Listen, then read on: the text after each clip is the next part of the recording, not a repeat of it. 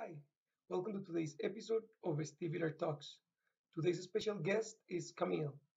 Camille is a successful professional, an independent woman, a very dedicated vestibular ambassador that is raising awareness about how these vestibular conditions impact our daily lives. Remember to like, share, and subscribe. Enjoy the episode and find your happiness, guys.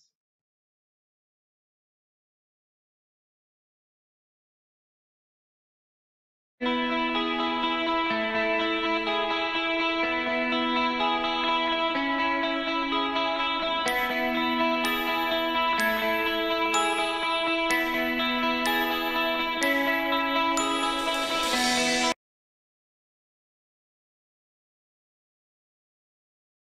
right, Camille, welcome to this episode of Vestibular Talks. How are you doing today? I'm great. How are you? Well, I'm going to say this. I'm going to take it back. I'm slightly symptomatic, but I'm doing good. Good, I good. Uh, appreciate you inviting me to speak with you today. Um, no, it's my pleasure. And then um, I understand what you mean symptomatic because a lot of days that are normal for us are not really normal. Like we, we, we have symptoms, but they are more manageable than are bad days, right? So, uh, so I understand what you mean because sometimes you, you you might seem normal and feel somewhat normal, but the symptoms are kind of like always in the background, like playing there. Maybe are, not as an intense feeling, but they are always constantly back, back there. Yeah. Camille, can you tell us a little bit about who you are and uh, how your condition began? Sure.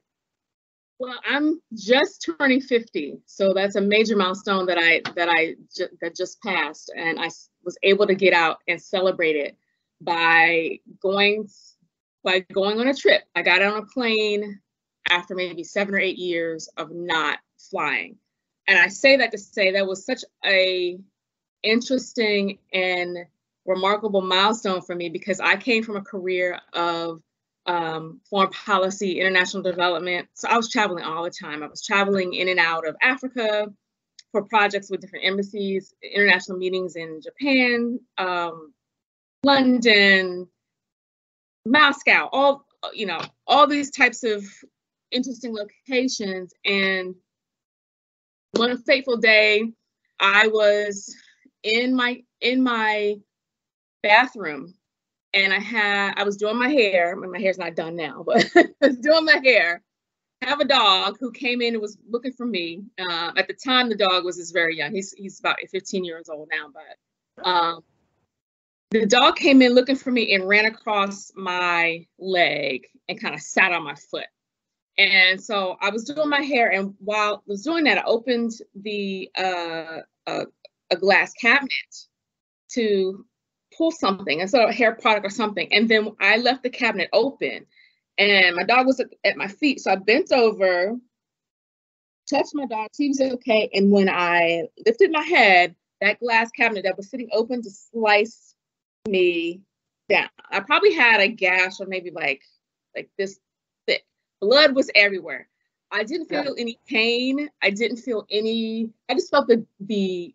I just felt the the pressure because the pressure of the impact in my jaw. So like my my jawline was hurting, but I had no pain in my scalp. Um, so blood was like all over the place, and I was kind of sitting there like, okay, what should I do? Should I call 911? This is not that big of a deal. I don't want to get through this, go through this issue with my insurance. Okay, you should have come to urgent care. Why didn't you go to? I don't want to go through that. So I just, I just kind of just, I kept some blood on me because I went to urgent care and I wanted to show them this is serious. I don't want to get in line. So you better, you know, you better triage everybody else behind me because I'm bleeding from my head. So they did take me immediately. I was stapled together. The doctor um, assessed me for, you know, blood loss. How was I feeling? And I didn't present with anything peculiar. Mhm. He didn't ask me if I had a concussion, which is which which is an issue that comes up later in my story. But I didn't present with any of those symptoms. So stitch me up, clean me up, off I go.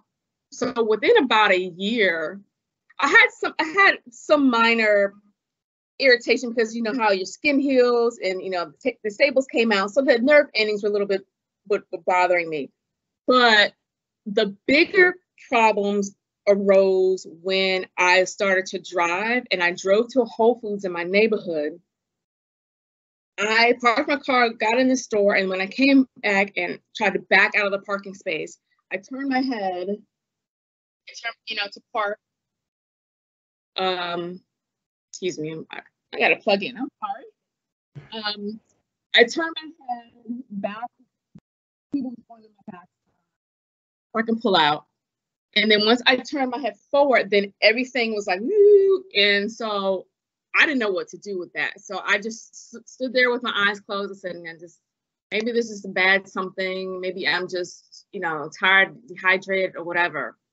So I sat in the back of my head. Okay, there's one experience. I you know, chalk it up as a just some weird happened. I'm gonna go about my day that those those instances kept happening. So when I was shopping in Target, Costco, um, I would have the the most massive dizzy episodes, and I was on the floor, and I felt like I and I would probably look like I was like a crybaby because I just could not manage. I couldn't stay upright.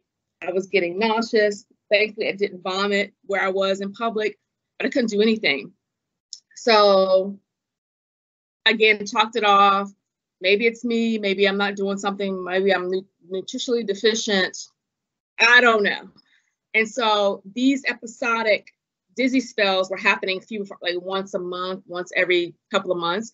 But as time passed, they were like once a week, couple of times a week, every day. And then that's when I started to to sit back and say, something's really wrong with me because I don't know why I'm having these headaches, these dizzy spells, and I can't do anything and I can't I can't drive anywhere and I can't walk anywhere without feeling triggered.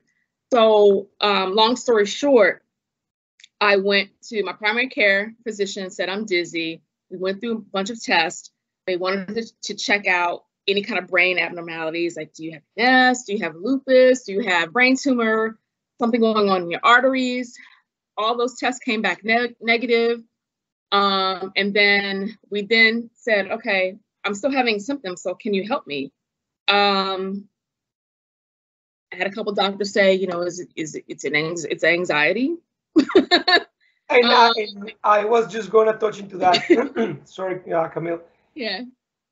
People don't seem to understand that this is not anxiety, but this generates intense amounts of anxiety. It's like it, because, it's like the A to the B. It generates anxiety. Yes, because when you're feeling dizzy and out of control, and you and you feel a sensation that is it's very uncomfortable and, and, and very hard hard to maneuver, yeah, your anxiety spikes.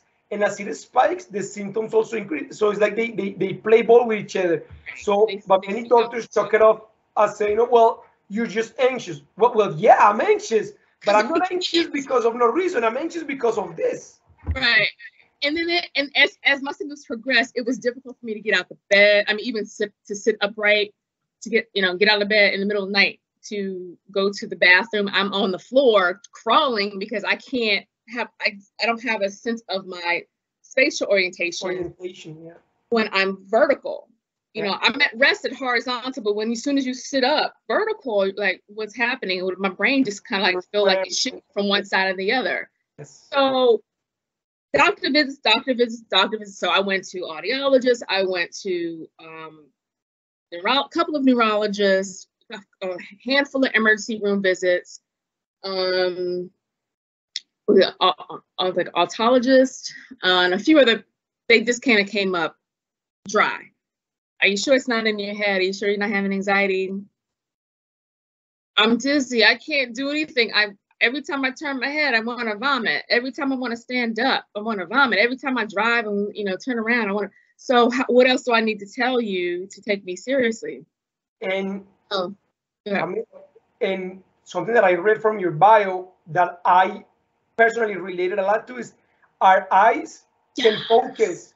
I yes. couldn't watch TV for three years because my eyes couldn't follow the images, or uh, or read a book. Like if I read a book, I would lose the lines because I would be in this paragraph and it's like my eyes couldn't track the second line underneath. So yeah. pe- people don't understand that it's hard for us to function in a day-to-day basis because something as necessary as your eyesight is hard for us to to control and, and to Okay. track. Yes. And the eye, and the ocular issues into play into one day I just had to go to. I'm sorry. so one day I went to a, uh, I went to a, had a, a, a regular eye exam because I was having a lot of floaters in my eye. And I was like, what are these things? You know, just get them out. What do I need to do? And that eye exam, I almost, I almost vomited on my, um, my optometrist. And she said, wait a minute, you're having some really serious issues. Maybe you can talk to my colleague that is that deals with neurological ocular situations. And so I finally met her, and then after a hectic eye exam that took about three sessions, and she had me she had me chasing dots around the room and moving my head and doing all kinds of things. She did she finally diagnosed me as someone that has post concussion syndrome, um, vestibular ocular motor dysfunction, and um, abnormal spatial location lo- orientation. Excuse me. So that's where the eyepiece came in. It happened to be a, not a neurologist that said so. It was an optometrist who specialized in brain in brain injuries. So from there, I took I, went out of my network, and I also wanted to get a second opinion with somebody that was. Um, and I'm I'm in the DC area, so Johns Hopkins is down the road. It's up in Baltimore, and I went to see somebody that was a neuro neuro-otologist, who was somebody who specializes in the inner ear, inner ear diseases in the balance center. So he seconded the diagnosis, but added the extra dimension of you have persistent, persistent postural perceptual dizziness. So with all these things in this big bowl, what do I do next? Mm. With my doctor, she was helping me for a little while, but then left there, left the practice in the HMO that I'm in, and then I was stuck. I was like, oh my god, what do I do? I don't know how to get. You giving me a diagnosis, but what are my tr- my treatment plans? Nobody in and nobody in the in the um in the HMO network was doing what she was doing. So I was left and I wrote letters. I was like, I have an issue. She's got me a di- giving me a diagnosis. I can't work. I can't do anything. Um, so finally I was like, enough is enough. I'm just gonna go on my own. So this particular op- neuro-optometrist was a part of an organization called the Neuro Optometrist Rehab Association at that same time, I was also researching other organizations that have that deal with brain and brain trauma, brain injury, head headache, and all that. So I went to Headache Foundation, this, that, and the third, and I then I uh, got to um, VeDA, the Vestibular Disorders Association, and through VeDA and through the Neuro-Optometry Rehab Association, I was able to piece together what my issues are and how to move forward. It was unfortunate that I couldn't get that from a medical professional, but I had to do my own research because I was like, I can't, I can't do anything, and nobody's telling me anything. They're always looking at me like I had the problem of something going on in my, my mental state. No, this is something physical that's happening. Yes. I can't put my finger on it. And then what I learned in this conversation with this neuro-optometrist and and um, others that were in her profession that I consulted with is that there's a difference between eyesight and vision. Eyesight is just me looking at you. I can see you. I'm 2020, uh, you know, whatever, 20, 2015. But vision is how your brain processes the input that comes Like into your eyes. Right. And so if the input that's coming through your eyes is not syncing up with the input that's coming through your balance system, and then it's not, it's mis- they're misfiring, and then your somatic system is confused. Like, what's going on? And so my body was in constant state of, I don't know which way I'm going. I, I couldn't process motion. So any anything I looked at was it had a bunch of swirly lines. I got dizzy Yes. um, in Costco, trying to reach for things, you know, and go and then trying to, you know, go through in and out the the um the lane, the, the not the lanes, you know what I mean? Yeah. yeah, the uh, walkways, dizzy.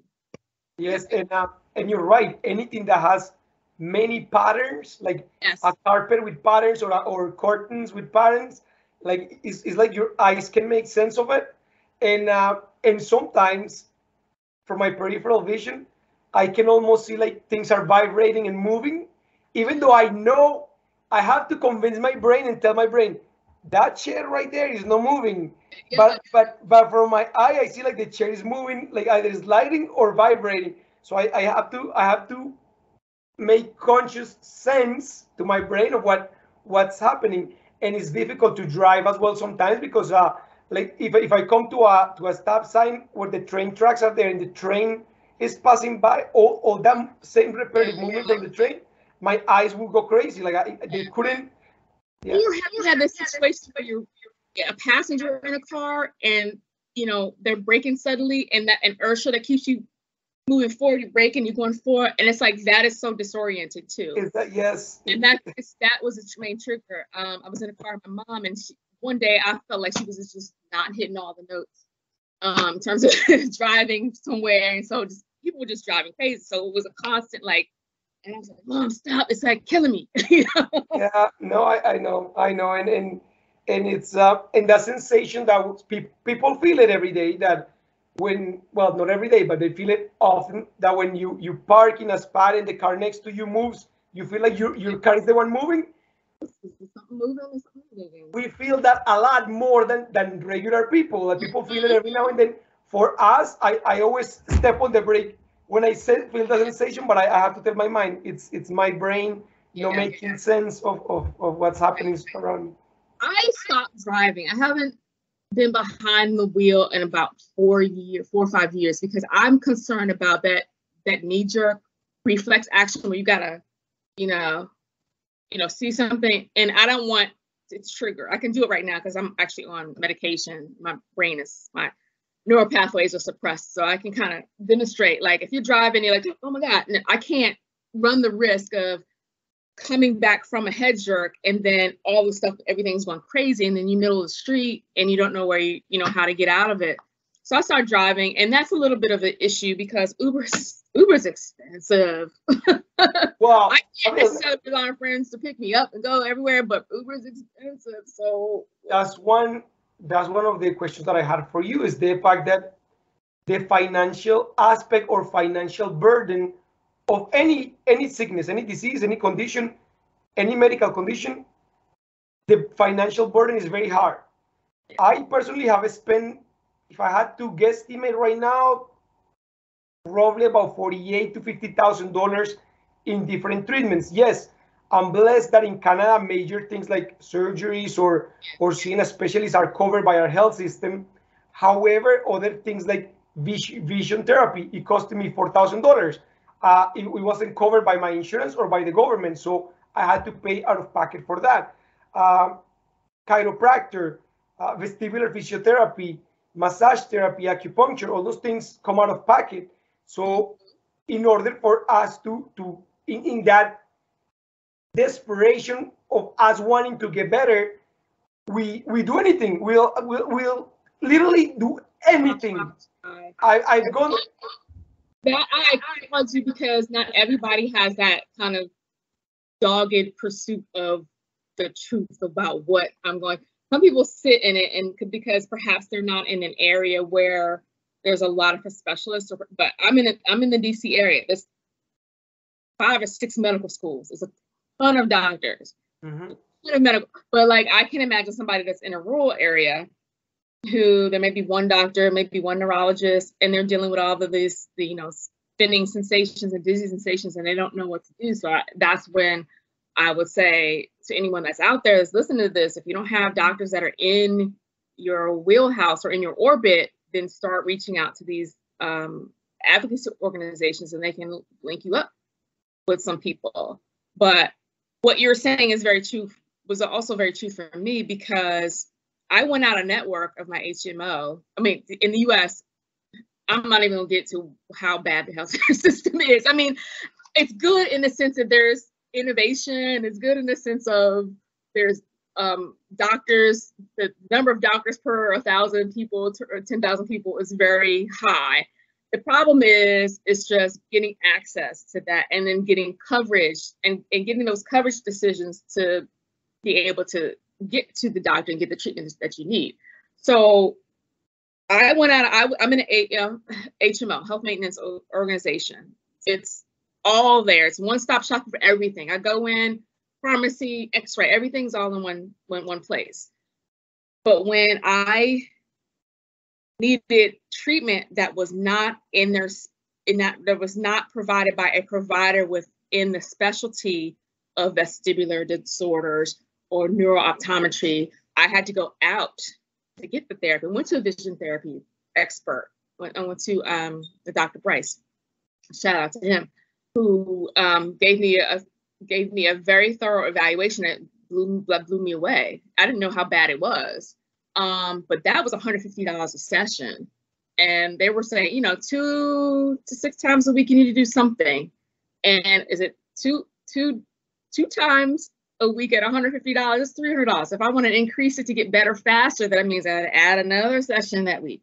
There and then there was homework. And in that I spent a good seven months. I probably spent like six thousand dollars out of my pocket. And then I went back to my HMO to ask for reimbursement. And then they said, oh no, um, you didn't do the right processes and you didn't check with this neurologist and this. That.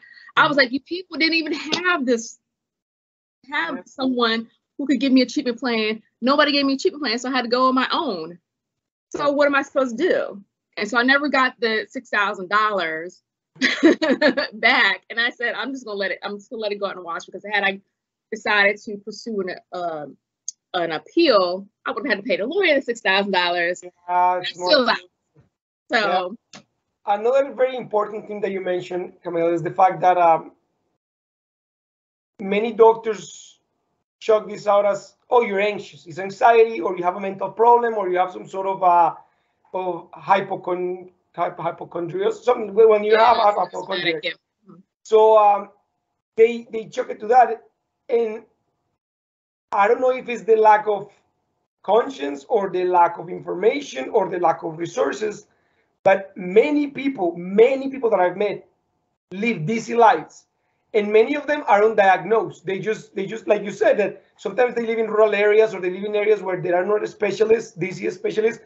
So these people are like, well, I've been dizzy for the last 10 years. And, you know, like it's just, they just kind of like, they just kind of accept it. They're like, oh, I'm, I've just been dizzy and, and my life is a dizzy life how do you feel that people can get access or better access to for because for example you had to advocate for yourself. People were telling you doctors were telling you oh you're just dizzy because you're anxious. But you you didn't you didn't take that as, a, as an answer. You said no i know i have something physical going on with me and i'm going to find an answer. I'm going to find a treatment. I'm going to find a cure. What's your advice for people that kind of given up because they don't have the resources the money the doctors? Like, what would you like to tell them? you don't have to sit in an existence of suffering and discomfort. That is not why we are here. it's not why we are human beings. We have to be well to fit the purpose that we're that we were made for. And if you are in a situation where it's you come up against the wall and you're in in an area where there is no one that can help get, help help you figure out what's um, wrong with you, then they got to get moving and pursue the truth. Because doctors don't even know everything themselves. Since when I can't, I can't. When you look back in the past ten years, I don't remember anything in the public discourse about vestibular disorders mm-hmm. or chronic dizziness. So this is something that the advocacy groups get together. So you really got to get on board with first going on the internet, going to social media, because there's Reddit groups, there's going Quora, Facebook groups. Just type in dizziness support groups. Go and see what people are talking about. See what people are saying about this is what I did to have to to um, exist in my space. This is what I'm doing to cope until I get get some real information that can help me on my wellness journey start there. And then once you start there, that can give you some ideas. Then move to all the advocacy organizations. Type in dizziness, dizziness disorders, and you'll probably find VeDA. Then you probably find um, Traumatic Brain Injury Association. Get on those uh, those newsletter lists, email list. Wait for the information, and then also a lot of these advocacy organizations have referral lists so it's mm-hmm. just it's no harm in, in looking at this referral list and finding the person that's closest to you. Even if it's 15 miles away from you in the next state, it's no harm in giving them a call and say, can you help me? Can, can I have a consultation? consultation shouldn't. I mean, if if if doctors are really interested in helping people with rare or interesting or kind of weird disorders and conditions, and they're in the in that mix, I think they will be more willing to have at least a phone conversation to consult 15 minutes, and then they can give you some direction. Yeah. Lastly, I would say any university that's teaching medicine could be also a resource. Yeah. You know, just check and see who check and see in the neurology department who's there, what they're doing. They they have like special clinics, they may have a special research programs or whatever. Just you need to start collecting names and get all this together um, so that you'd be able to, you know, sit back in it and reflect on what's my next step. The other thing, and that's just gathering information. The next thing I, I, I think is um, having a sense of what your medical coverage is going to look like. Because yeah, you can find the greatest treatment, but if your medical coverage is not going to meet you in the middle and cover that, then what you know, you might be stuck. So get through, go through your medical coverage, get clear about the benefits that are given to you, get clear about exclusions, and then those that information can also be a part of your consultation consultation conversation. Say, I don't have this, that, and the third in coverage. What do you suggest? Can I see you? What what can I do? There might be some way. Some people are willing to bend, yeah. but you can't have them bend for you until you present the problem. Yeah. Uh, Camille, something that you mentioned earlier, which I'm a big advocate of, it's um, and it's weird because at the beginning, okay. So you said earlier that people should go into these forums and these social media groups it is good. However, you have to filter the information because yes. there are people there with very, very dark stories that make you feel worse about your condition. So you have to filter that. At the beginning, when I was looking for information, people wrote horrible stories about medication. Oh, I started with this medication and he gave me this and that side effects. He made me worse. He made me this. So at the beginning, I was against medication. Mm-hmm. Eventually, after talking to a lot of professional doctors, they convinced me to try medication. And it was the best thing I've ever did because, like you said, medication allows me to, to function in a more normal state. Yes, the symptoms are always in the background, but I'm able to drive, to work, to travel, to, to live a more normal life. A lot of people that approach me on social media, they say, hey, you know, we see you playing basketball, we see you riding bicycles, we see you traveling.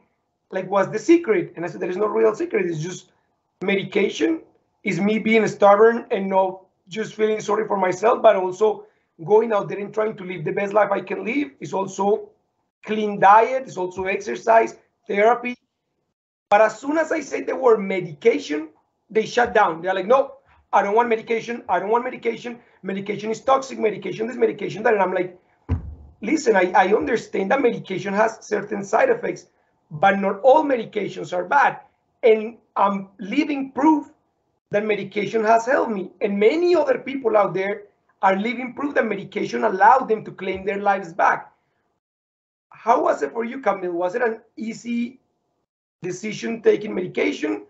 And how what were the changes prior to taking medication and after taking medication? it was easy because I was given my particular medication after an emergency room visit while I was in observation. Um, I went in complaining about dizziness and vomiting. I thought I was having a stroke.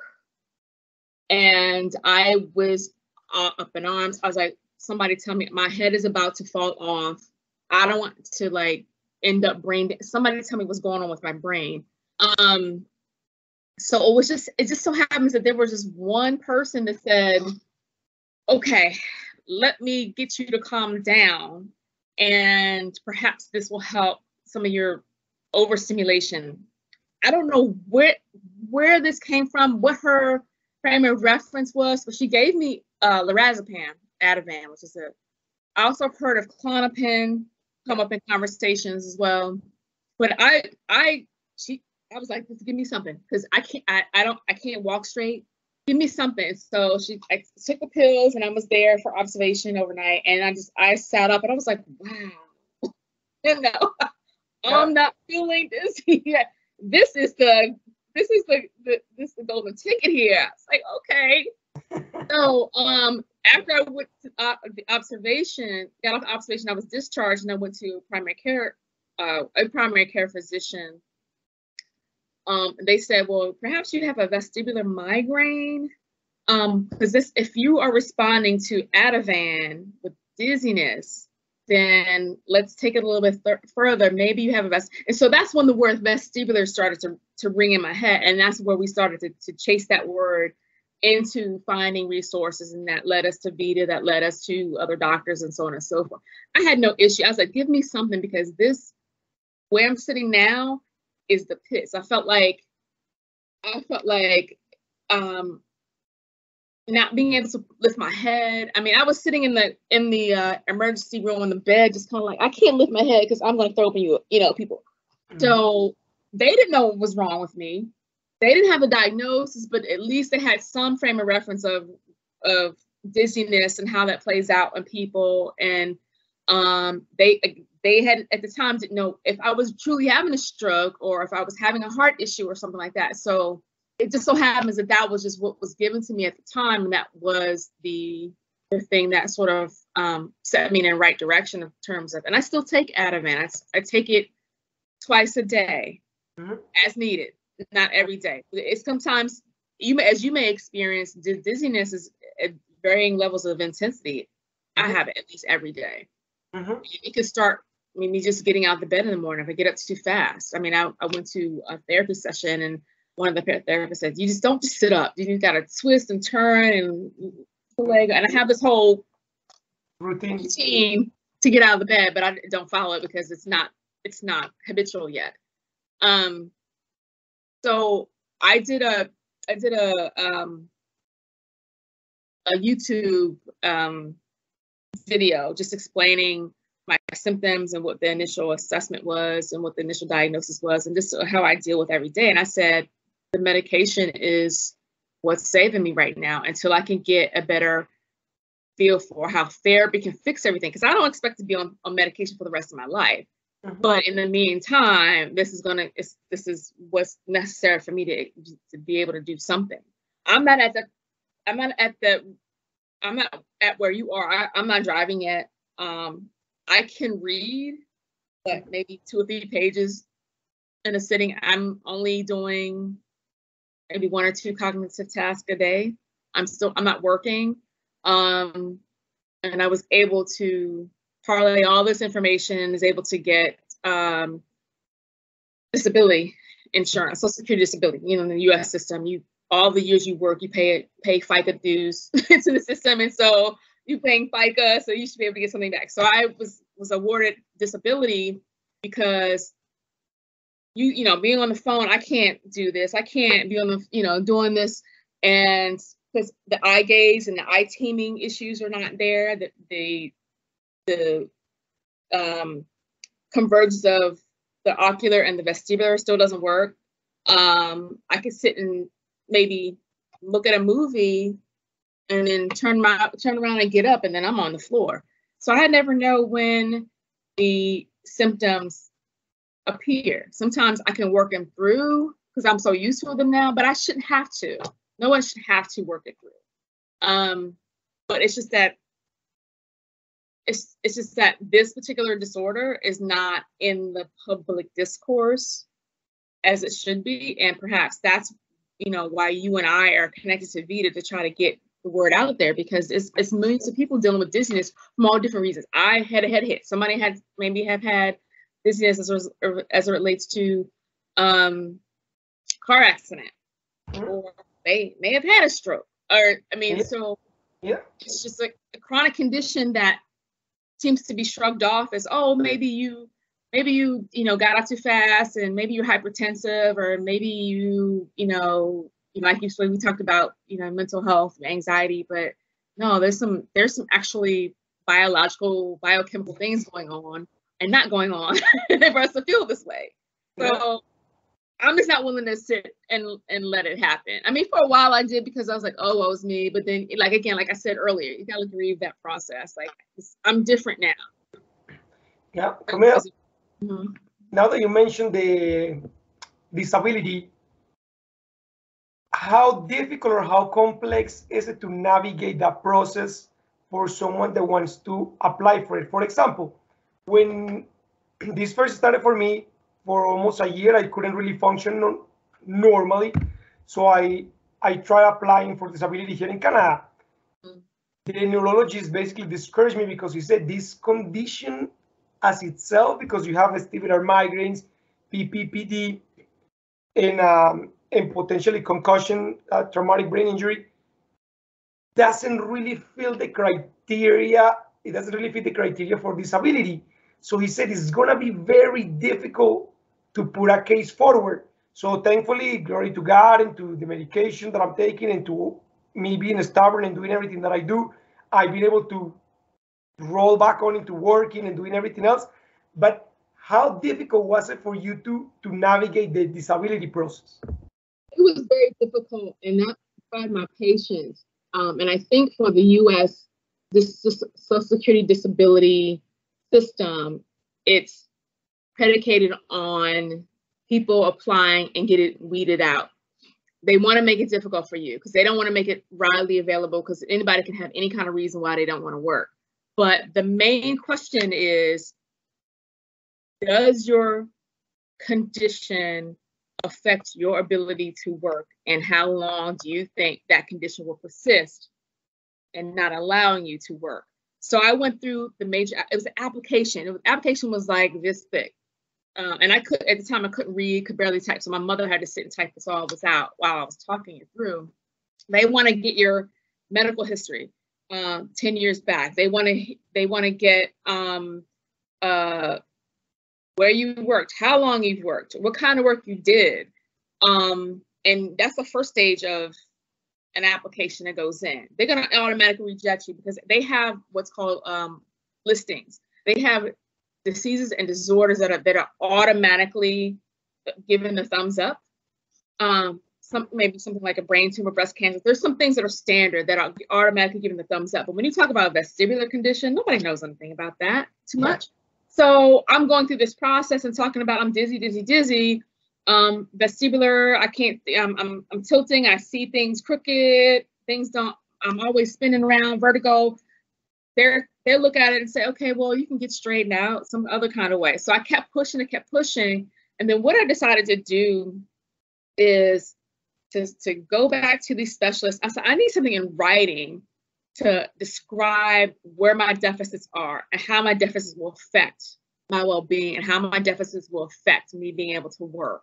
So I had um I went to one professional that said, you know, you've got eye teaming problems, you have eye focusing problems, you you know you you're not your peripheral and your peripheral and your central focus are not converging properly. They gave all the scientific and they said, if you want to check this out, here's the scientific journal and here's the binocular um, dysfunction. They gave the scientific sites for, you know, this stuff is not in this listings. Deny it again. And so when I got to the point where I was preparing to meet for the judge, what I decided to do is to journal the to journal things.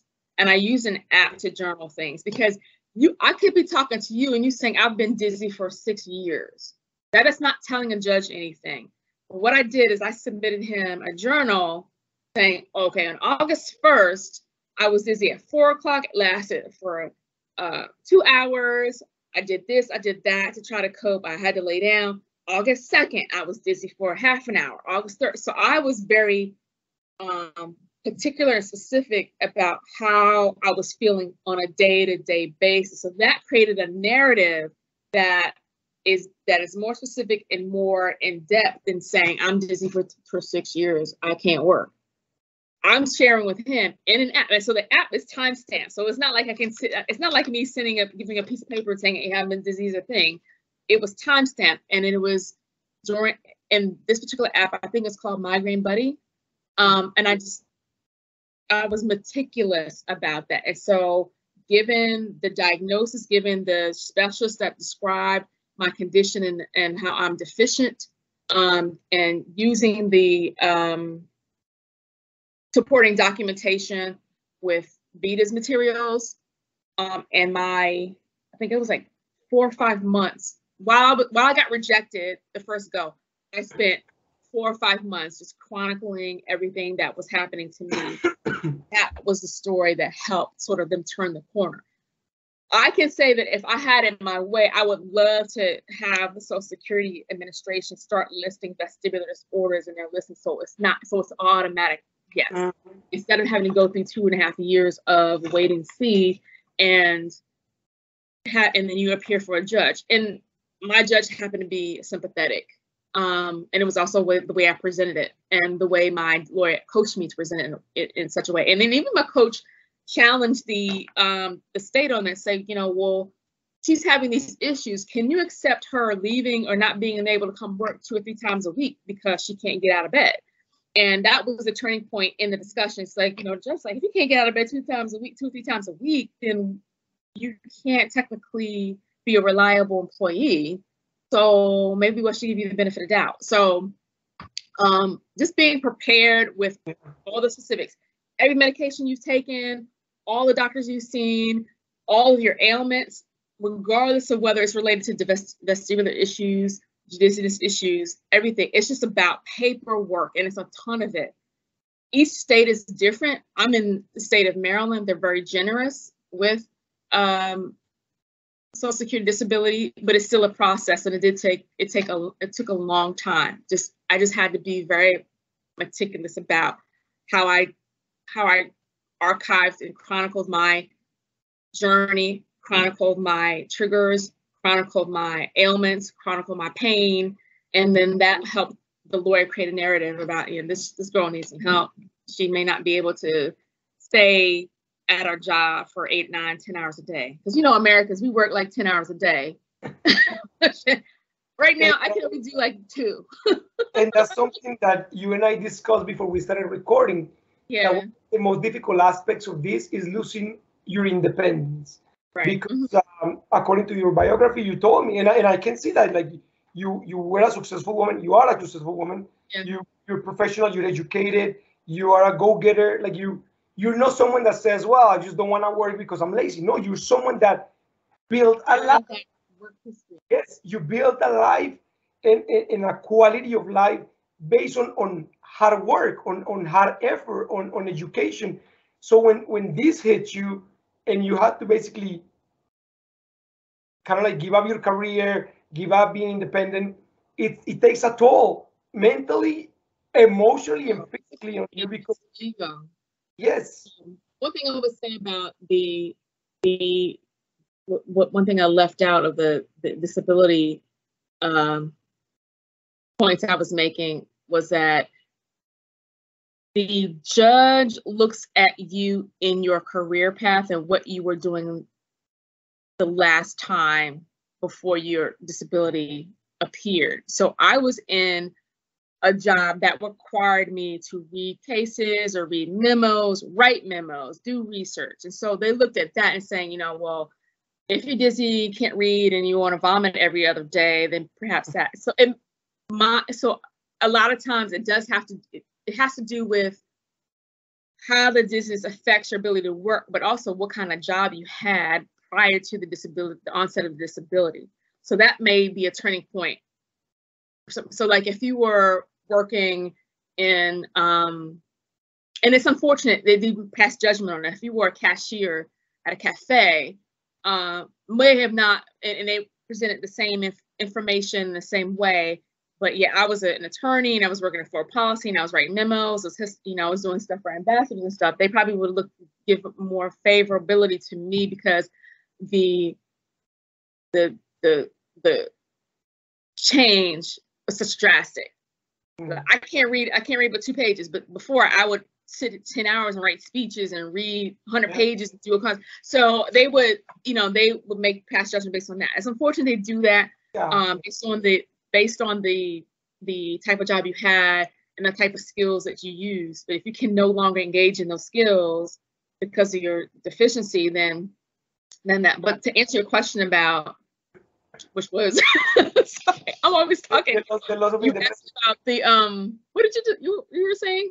I was saying the loss of independence that. Oh, loss of independence. Oh yeah, because one of the things that bothers me so much is that I mean, because I don't drive, the the loss of independence will comes in a couple of ways. One is the freedom to do whatever I want to do because my my income and my um this you know but my disposable income um salary income and you know income from investments and stuff it just i say i'm like net zero net worth because i depleted everything i had to be able to exist do a little bit of something here and there um, pay some bills, and then I had to, you know, I'm living with my mother now, who's almost 80 years old, and so I have to a lot to rely on her because I don't drive. She likes to drive, um, but I feel bad because I should be taking care of her instead of her taking care of me. So that's a that's a dependency issue that I grapple with on a regular basis. Like I'm really 50 years old and I should be showering my mother with gifts and trips and things like that because she's done wonderful things for me. But sometimes I can't walk across the, walk across the room. It's like, mom, come get me. I can't get out, or, or I'm sitting somewhere I can't get up, or you know, taking a bath, wash. I can't get out. You know, I shouldn't have to rely on um, my mom. And even if I relied on others, they're not necessarily going to be ready, willing, and able at the time you need them. So I do have a squad of friends that are reasonably reliable, but I don't ask them for much because they have their own lives to deal with. You don't want to. You don't want to bother anybody. Bother them, and they really come. Their help really comes into play when we are together. Let's say we schedule an outing, a dinner, or something like that. So they know if I'm in a busy environment, I may have to come in there with my patch on my eye. You know, I, I wear a patch and sunglasses sometimes if I need to go monocular to be able to make sense of the environment. Um, or they need to assist me to walk across the street. I mean, this is little things like that, but I can't ask them to take me to a doctor's appointment because um, they have their their work or their jobs or they. Um, and then when during and during this COVID pandemic, I, nobody was going anywhere. So I was that was that was time that I took to try to do some more research about different things and different possibilities and in in thinking about disability, like I can't be on disability forever. So what kinds of jobs could I do if I get to a point um, where I can function for more than um, a couple of hours in front of a computer or whatever. So I'm still thinking about that now because I don't expect to be on disability that long because I'm probably going to be up for review soon and ask me like, what have you been doing? What can you do? What can't you do? But I think at the end of the day, like I really need to get busy with my therapy full force. And that's an issue that's directly related to coverage decisions. And I, am in the process of fighting my, not fighting, but really moving through the bureaucracy of my healthcare plan to say, okay, I have a specific condition that not many patients present with in your organization. There are resources outside the network that can help me. So what can you do for me? Yes, before I went out on my own, I didn't get permission, but now I'm on disability, I have Medicare benefits. Um, you can't say no, so how are we gonna do this? yeah, yeah. But you know what? You're, you're right, Camille. It's unfortunate that sometimes they they want you, the insurance companies want you to go through them. But when you go through them, it's easy for them to dismiss you or to just say no because uh, there's a new medication that is like an injection once a month that apparently decreases the intensity of the migraines and the frequency, yeah. as well as it has been proven that it decreases the dizziness. And I applied through my insurance company, and they said no. So my neurologist sent a case in that case, he put all the documentation together. He said, you know, this guy needs it. Like he he he will be able to to improve drastically if given this medication. And they again said no. They are like no. And uh, so it's hard because sometimes you know there, there could be hope out there for us, mm-hmm. but due to certain limitations and bureaucracies and difficulties, our insurance companies don't approve or don't qualify us for something that could potentially change our life for the better. That's the point that you're making because that goes back to what I was saying about learning your learning the bureaucracy of your healthcare plan and being clear about the benefits and, and um, um, benefits and exclusions because there might be a workaround somewhere. You might have to cite the benefit that connects. Instead of you saying, I have, let me back up. Let me say, instead of you saying, I've got dizziness, da, da, da, da, da, you might be able to say, I've got dizziness, which is um, covered because I can get physical therapy, occupational therapy, blah, blah, blah, blah. That's something specific in the cover, the benefit statement that if somebody tells you you have dizziness and you got to go to vestibular therapy, oh, but, and they don't know what vestibular therapy is, then vestibular therapy is essentially occupational therapy. It's physical therapy. It's this. So you have to kind of mesh together what you need and put it in their language and see what you can have. But I will also say if they denied you again, keep going because there still should be an appeals process. And unfortunately, if you have to get a lawyer involved, I would do it because you need to get what you get. Because I think it's like I said, it's a game for these people. They're trying to not cover everything and and it's unfortunate, but if they see you put up a fight, then they're probably more willing to help you out because what they what they don't want to have happen is you going through a process of denial and denial, denial and then all of a sudden you say, okay, I'm going to go to the public with this, or or your lawyer decides to go public, and then that brings bad PR on the healthcare plan. So they're just trying, they're just messing with you, you know, weeding you out. Uh, how bad do you want it? yeah, it's yeah, that's what it comes down to. Yeah. Yeah. What does, yeah. What does the future hold for Camille? Um. Well, let me say like as I look forward, I'm kind of looking at my current situation now, and as I've learned to, I learned I learned acceptance that the situation is with me for the short, medium, and perhaps long term. I have no idea if it's permanent, but the goal is for it not to be. Um, I decided to, again, like I, I, I decided to grieve my former self. That's past. Now I'm about empowerment and moving forward. Um, I don't know. There's a lot of things that I don't know about what my future holds because again, it's like, what if I have to go back to work? What can I do with these limitations? I don't think the limitations would, in my mind, I may be fully cured, but I don't think the limitations will fully go away. So I will be sufficient in something. I definitely cannot work at the stamina and the intensity that I worked before I had my accident. That is clear. So what is that? What is what can I do now that will at least allow me to give my all? I've been trained. I've had all this training, but I want to give it to something. So what I thought of is I've looked at um, a couple of ish, a couple of uh, groups of friends of mine that are in some entrepreneurial pursuits, and I decided to to jump on board. I have equity interest in them, and I, what I when I can, I offer uh, strategic advice, or um, I may do some slides here and there. However, you know, for pitch presentation. Um, I'm the idea. I'm a very good idea person. Um, I thought about if if when this could subside or go into remission, that like what kind of advocacy work I can do for people mm-hmm. who don't have insurance. Um, maybe that's my new calling per se. Like again, like I was saying in the very beginning, is it's you know you may be different, but you still have a purpose.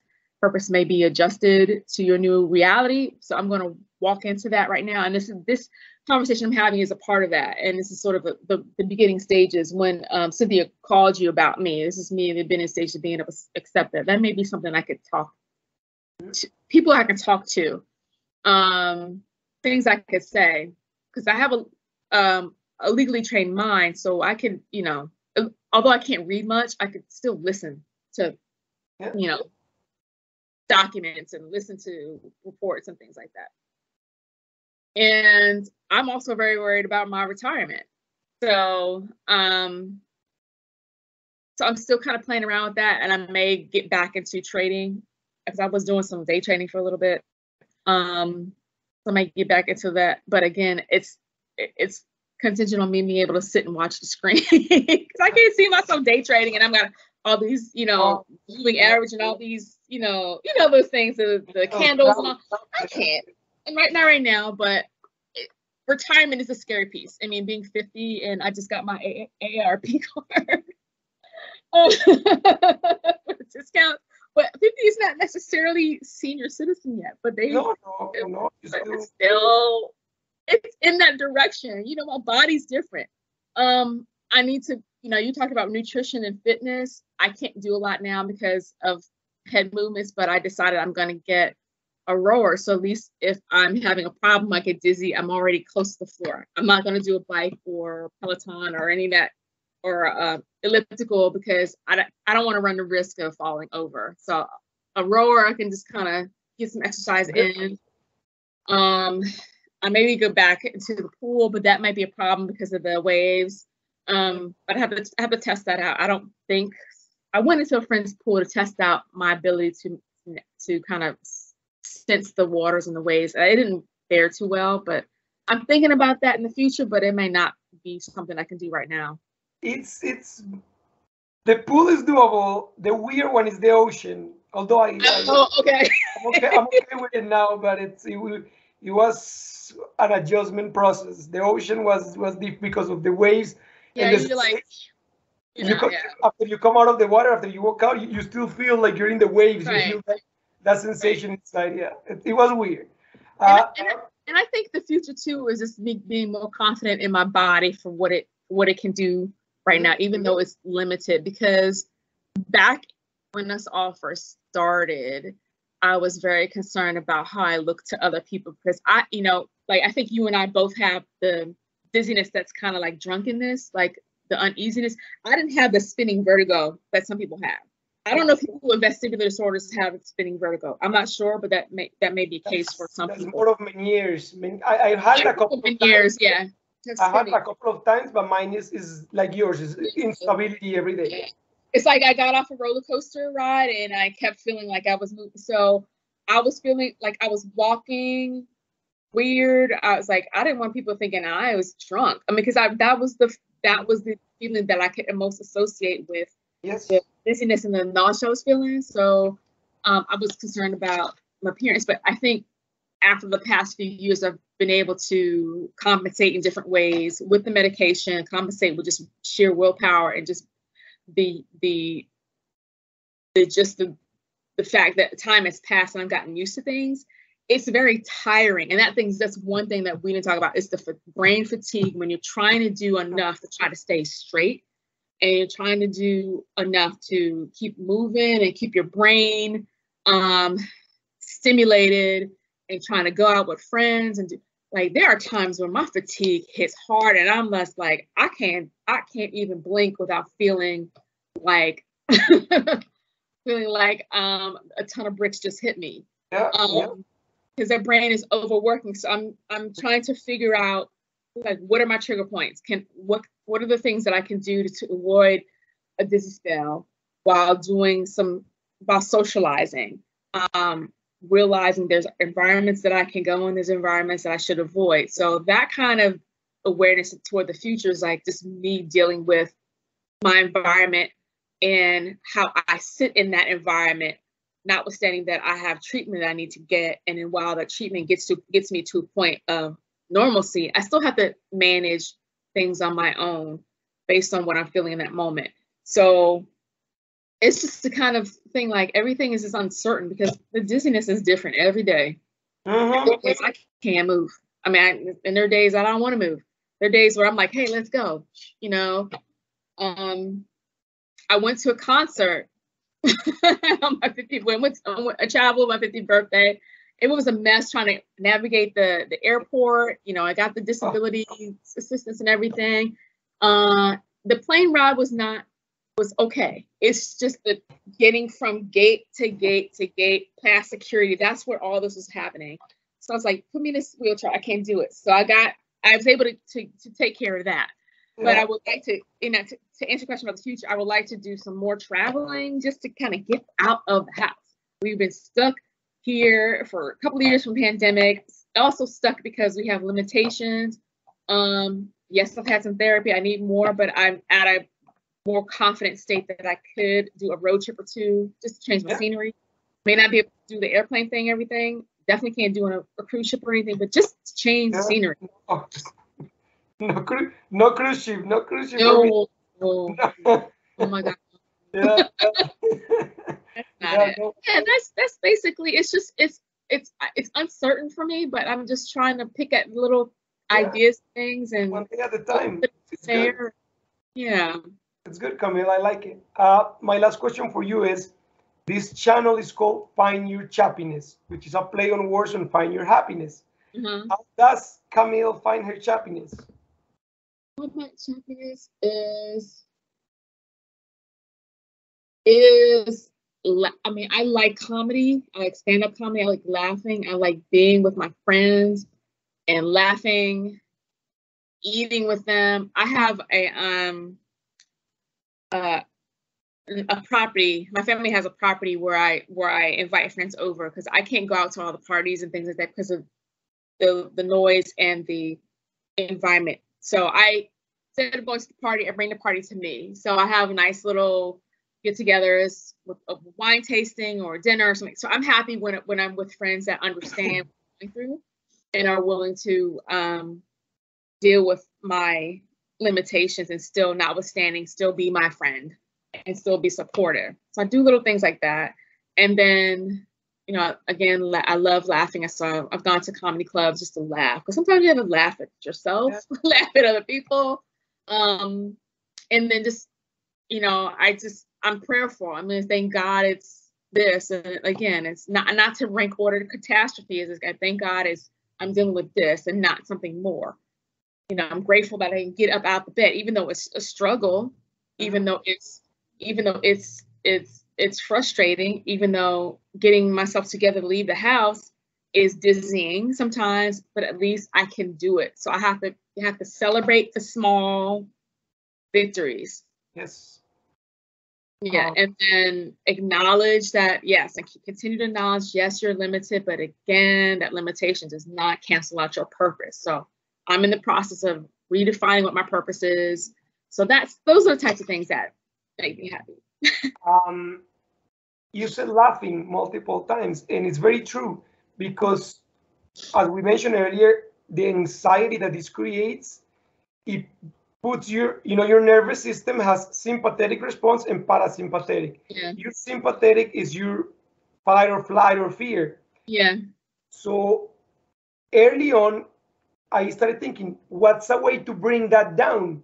Mhm. So I started listening to comedies in, in, in uh, on Spotify or in YouTube. I'll find I'll find comedies and I'll just play them, and I started laughing. I will laugh and laugh and laugh for hours, and that started keeping me more relaxed, more more calm, more. It started bringing that sympathetic nervous system response down to a more parasympathetic, where is where you allow your body to start recovering. So very good advice, Camille. Very good point. There's there are studies about laughter. I don't haven't read them, but I've seen them. I've seen them mentioned in things in the internet. There are studies about laughter and wellness that, that there's a direct correlation between the more you laugh and the more you more you find things funny that it disarm it disarms the tension, and then then you can get to the healing a, a, a bit better. even, even as extreme as people with terminal cancers, Mhm. find that laughter makes them feel better. Not it's not a miracle magic cure,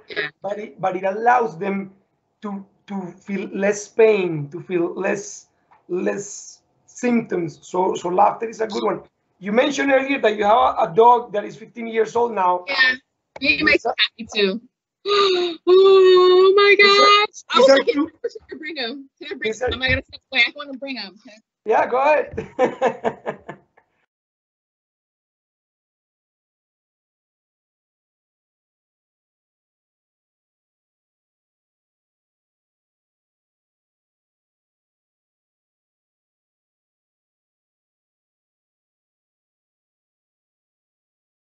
ah, Very cute. He is 15 years old. He is the boss of the house. Right? When it comes to his his when he has water, it has to be. I mean, every time he goes to the bowl for water, it has to be brand new water out of the out the faucet with ice his food has to be a certain way, you know, just everything. So he's just in there. He I just him up. Very cute. He Very, makes very me cute. laugh because it's hysterical how much of a boss he tries to be of me. And of your thing. They are they are such amazing creatures. They are such good companions. Yes. Yeah. And I thought about at one point, I know we're, we're running low on time. I thought about at one point whether I needed um a support animal whether to be trained. And then there's some people who who who are who are wearing weighted vests. So I looked at those options too, and this is some this is a separate conversation about treatment options, but I thought about perhaps having him learn to be a support animal, but he's too he's too grudging. He was like, just don't touch me. I don't want I want to do what I want to do. I don't want to help you. As long as I'm getting the food and the water at the time that I want, I'm okay. Outside of that, him being 15, he's very and then he's a night crawler and he's, and he's up all night. So I don't get enough sleep. Yeah, very cute. I have uh, I have I have four, but these two that I showed you are the ones that follow me everywhere. The Yeah. other two are in the living room doing their own thing. Yeah. Yeah. So yeah, it's um, yeah, it's it's he's he's helpful. He's he does he makes me laugh because he's just stupid stuff and it's just you know it's like Dom no Dom, why do you do that. You know but he's like 15 going on five months He just wants Yeah. and hugged and and there's times he just doesn't want to be touched. He's like, just leave me alone. Leave me alone. Give me my space. Yeah. And why are you loud? Because you were you're you're ruining my nap. I mean, he's actually even laying down and would look up and give me the, the side. I like you are just way too loud. I'm just Give you the stare. Yeah. They give you the stare. yeah. So I'm like, stop. Well, yeah. Carol, it's been an absolute pleasure talking to you. Um, Yes. I, I'm sorry. I know we said about 30 minutes and we went up a little bit over yeah, an yeah, hour, that's fine. That's but we And covered a lot of um, we covered a lot of very important topics. So thank you very much. hope I was Okay. clear, concise. This is my first Yes. podcast. No, you did great. No, I will. Yeah, I've, I've done I've done internet radio, but this is my first podcast on camera. So um, I hope I was clear, and um, hope I hope our information was helpful. And you know, we should get together and do this again if something else comes up. Um, I enjoyed the conversation, and um, good luck to you in your wellness recovery. Thank you. uh, Likewise. We'll get, but we'll get there. It's gonna take some time. but We'll get there. Uh, Carmen, before we go, I forgot to ask you if people want to find you on social media, where can they find you? Okay, so um, I can be found on Instagram at Jack's Out the Box. J A C K S O U T T H E B O S. B O X, excuse me. Like, you know, Jack Jack in the Box instead of Jack's Out the Box. Um, Facebook. I have to give you the link to the Facebook page, but Instagram um, is probably best. Um, and I have I don't have a YouTube channel, but I have something up on YouTube. If they if they go to uh, and they run a search as my chronic dizziness, my PPT PPPD journey, then it'll be CJ all day, uh, 428. Um, and if they look at that, then they can that's where that was what I, I recorded that early in my journey, and then people have um, submitted comments that I've been able to to um, respond to. Okay. And then I've just been appointed as um, a new ambassador to um, the Vestibular Disorders Association, so you'll see me again in something or some somewhere saying something. so at that time, I'll be able to also have information about how like, people can follow up with me. Awesome. Well, thank you very much, Camille. You have a new friend in Canada. And yes, Yes, likewise, I- yes. I do wish you the best in your healing journey. And hopefully we'll do this again soon. Yes, let's do it. Let's, I, appreciate your appreciate you for inviting me, but let's do it again. Awesome. Okay, Camille. Sounds good. Thank you. Bye-bye. Bye.